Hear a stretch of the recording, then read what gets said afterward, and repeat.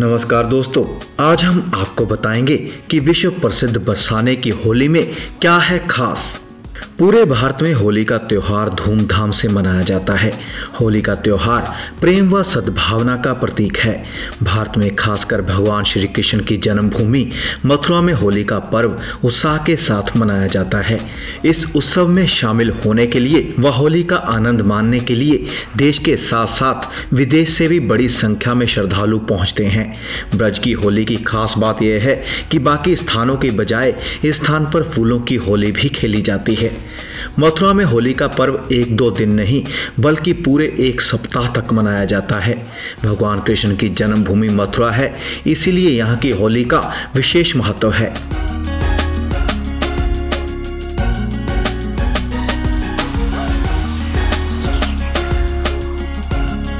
बरसाने की लठमार होली।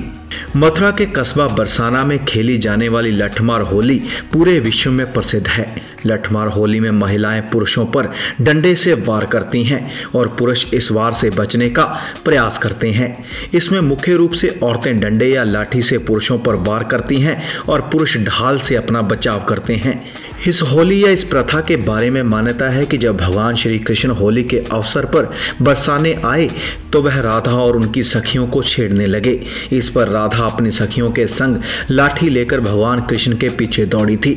तभी से बरसाने में इस प्रकार की होली की इस परंपरा की शुरुआत हुई।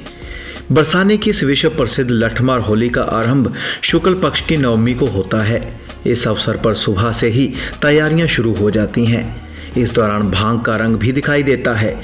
इस लठमार होली में हिस्सा लेने वाले पुरुषों को होरियारे कहा जाता है। और ये होरियारे भगवान श्री कृष्ण के सखा माने जाते हैं। इस अवसर पर नंदगांव वासियों द्वारा रसिया गीत गाए जाते हैं। लठमार होली खेलने की यह परंपरा वर्षों से निरंतर जारी है।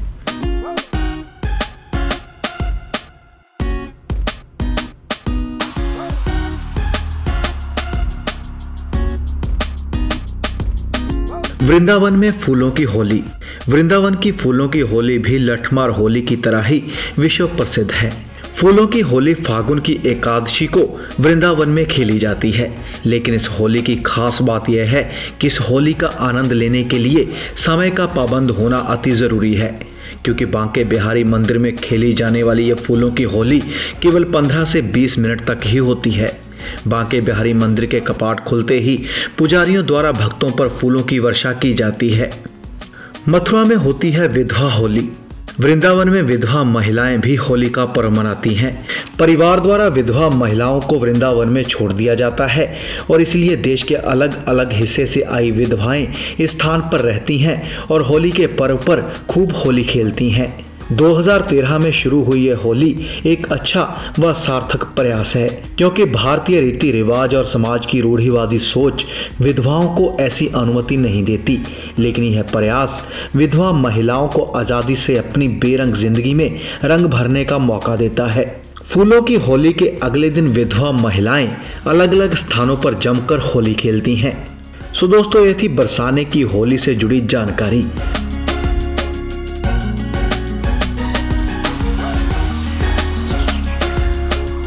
हर दिन नए और बेहतरीन वीडियोस देखने के लिए चैनल डी फाइव हिंदी को ज़रूर सब्सक्राइब करें और इसी तरह के बेहतरीन आर्टिकल्स पढ़ने के लिए डिस्क्रिप्शन में दिए गए लिंक को क्लिक करें।